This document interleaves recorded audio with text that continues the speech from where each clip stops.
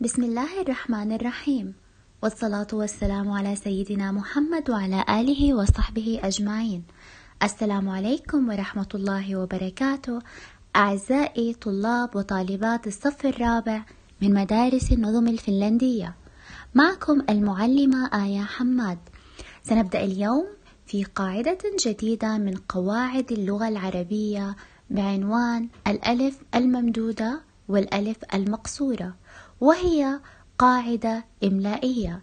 درس اليوم سيوضح لنا كيفية كتابة الألف الممدودة والألف المقصورة وطريقة التمييز بينهما.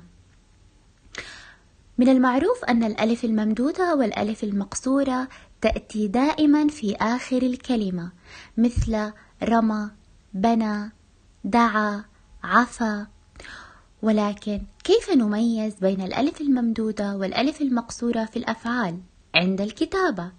كيف نعرف متى نكتب الألف المقصورة ومتى نكتب الألف الممدودة؟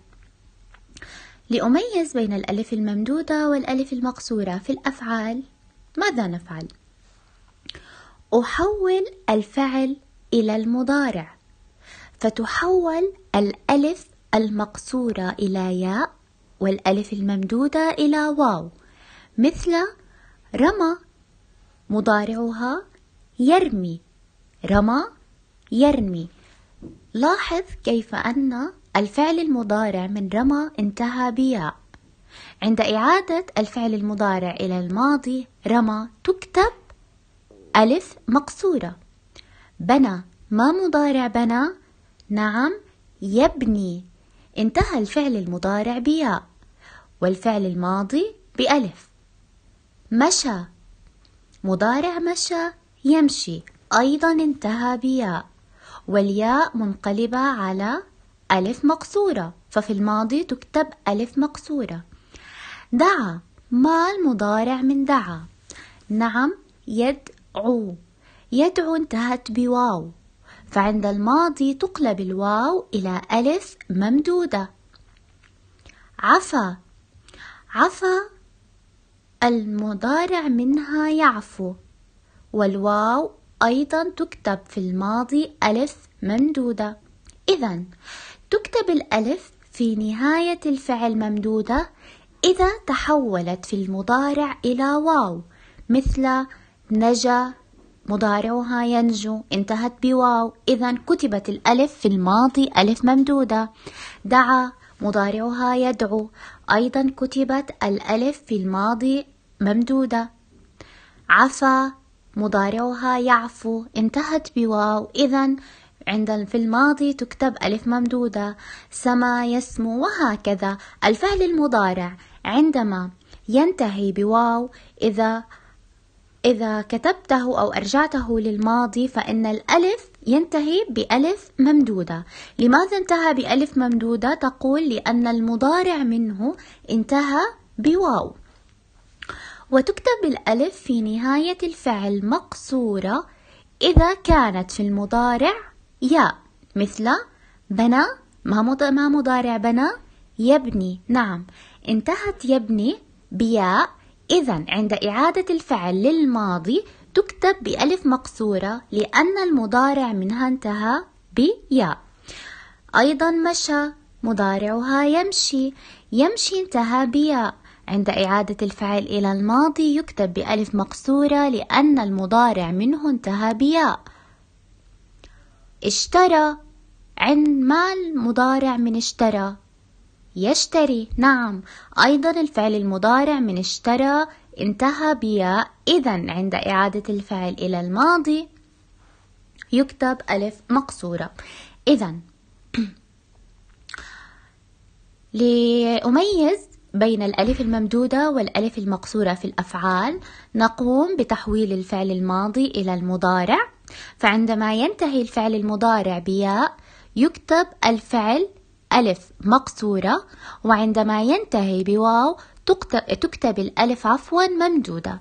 فقط القاعدة جدا بسيطة تحتاج إلى التركيز فقط. السؤال الآن أكمل الأفعال الناقصة في النص بالألف المناسبة سواء كانت ألف ممدودة أو مقصورة. قلنا نرجع الفعل نحول الفعل عفوا للمضارع.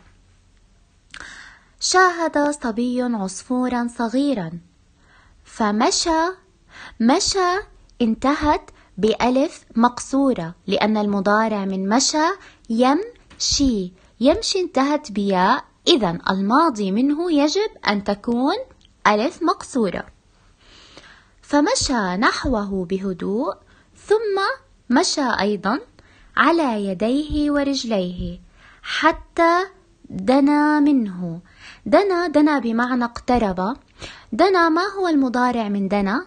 نعم يدنو يدنو انتهى الفعل المضارع بواو. عند إعادة الفعل إلى الماضي فإنه ينتهي بألف ممدودة. لماذا؟ لأن المضارع من دنا يدنو انتهى بواو. قلنا دنا بمعنى اقترب.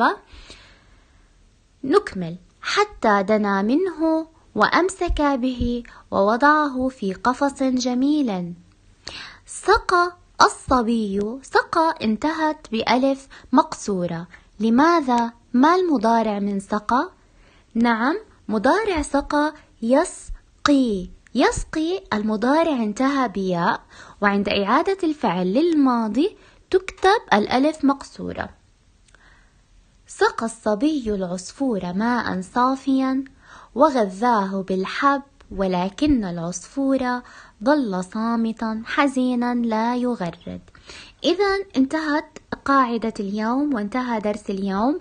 قاعدة اليوم قلنا أنها قاعدة جدا سهلة وبسيطة وشيقة وهي قاعدة إملائية آه، يخطئ آه، الكثير فيها تحتاج فقط إلى التركيز.